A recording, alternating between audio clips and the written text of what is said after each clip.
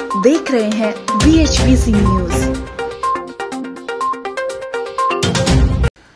नमस्कार, स्वागत है आपका। मेरा नाम है विपिन बेबाग गंभीर आर्थिक संकट से जूझ रहा पाकिस्तान अब अपने आका चीन से भी नाराज़ है।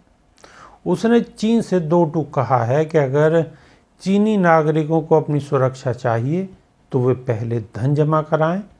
दरअसल CPEC प्रोजेक्ट में हज़ारों की तादाद में चीन नागरिक इस समय पाकिस्तान में मौजूद हैं।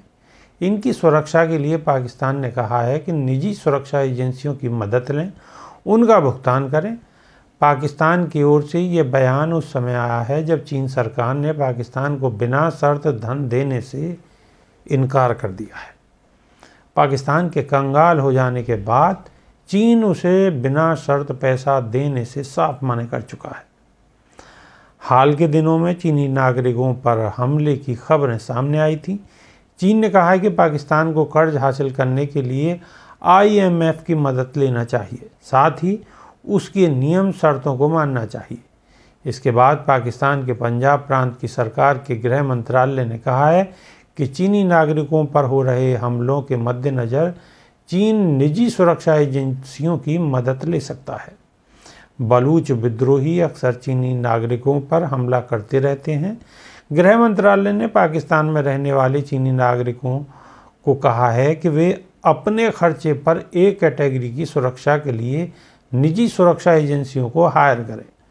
पंजाब प्रांत के गृह मंत्रालय और पुलिस की बैठक में सरकार के साथ काम करने वाले चीनी नागरिकों की चर्चा हुई।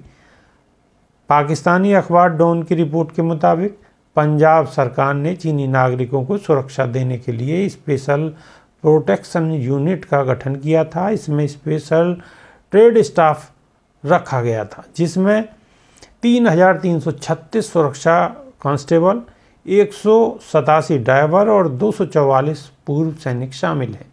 ये सभी सी योजना में काम कर रहे हैं। सात हज़ार पाँच सौ सड़सठ चीनी नागरिकों को सुरक्षा दे रहे थे फ़िलहाल पाकिस्तान के पंजाब में सी के चार और नॉन सी के सत्ताईस प्रोजेक्ट चल रहे हैं। ये सुरक्षाकर्मी चीनियों के सत्तर घरों और चौबीस शिविरों की सुरक्षा कर रहे हैं। चीनी नागरिक अपनी सुरक्षा के लिए खुद व्यवस्था करें। डीआईजी आगा यूसुफ ने कहा है कि हर चीनी नागरिक को सुरक्षा नहीं दी जा सकती। पाकिस्तान में ऐसे सैकड़ों चीनी नागरिक हैं जो प्राइवेट कंपनियों के साथ मिलकर काम कर रहे हैं, हम हर चीनी नागरिक की सुरक्षा का खर्चा नहीं दे सकते।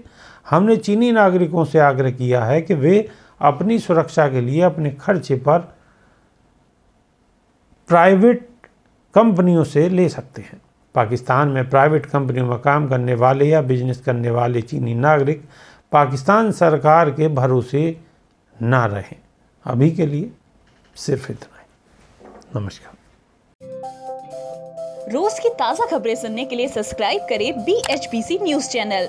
साथ ही रोज के नोटिफिकेशन जानने के लिए दबाएँ बेल आइकन साथ ही हमें अपनी राय देने के लिए हमारी वीडियो पर कमेंट करके बताएँ और वीडियोस को लाइक और शेयर करना बिल्कुल ना भूलें।